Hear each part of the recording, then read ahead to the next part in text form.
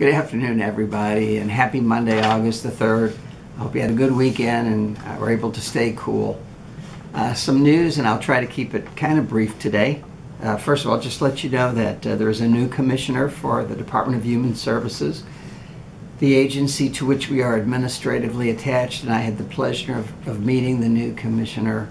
Her name is Robyn Crittenden. I had, I had a meeting with her last Thursday. Very supportive of GVRA being an independent agency and just a very, uh, very nice person. A uh, couple th- other things uh, in terms of new staff. Uh, there's a couple new staff at the governor's office. I'll be having my first meeting with them this Wednesday. A man named David Werner is the governor's new chief operating officer, and a man named Travis Johnson, uh, the deputy chief operating officer for the governor's office. So I'll be meeting with both David and Travis uh, Wednesday to give them an overview and an introduction to GVRA. Uh, you may have seen this in uh, the daily update, but we also have two new board members that were recently appointed by Governor Deal. Uh, the first is a gentleman named uh, Vincent Martin. Uh, my understanding, I haven't met Vincent yet, but that he is an individual who is blind, that he's either a student or works at Georgia Tech, and he is taking Marcia Farrow's place on the board.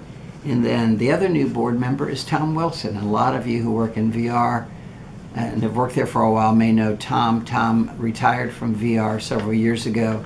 He's been the president of the National Rehabilitation Association. Understands rehab is a great is a great guy, and so we're thrilled for both the addition of Vincent and Tom.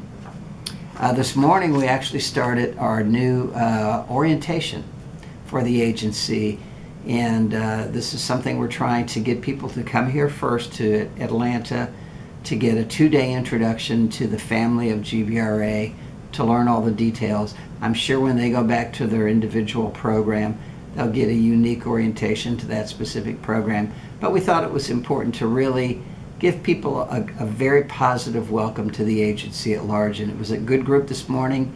It appears that we may have had about, I don't know, 12 to 15 new employees for the agency most of the programs were represented and so we'll get some feedback on how this new orientation has gone. And then finally, I'd like to announce that uh, we were successful in uh, having our WIPA grant actually renewed. Uh, WIPA, for those of you who don't know, and I've got my little cheat sheet here, stands for Work Incentive Planning and Assistance. We used to have what were called CWICs, and now they are called WINS, W-I-N, Work Incentives Navigator. And with this new grant, our service area has actually grown to 119 counties across the state. We share the state with the Shepherd Center here in Atlanta.